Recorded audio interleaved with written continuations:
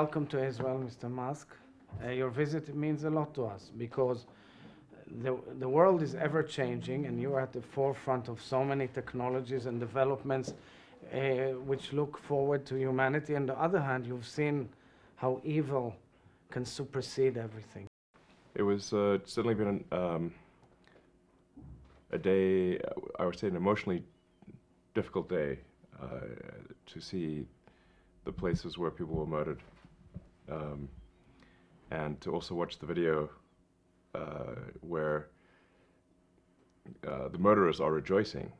Exactly, uh, that's in the the, worst part in the movie. I was shocked by it. Um, Celebrating the celebrating the murder of Yeah. innocent people is um, extremely disturbing.